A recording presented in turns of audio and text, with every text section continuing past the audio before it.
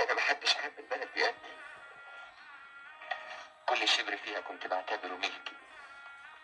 كل إنسان فيها كنت بعتبره أخويا أو أبويا.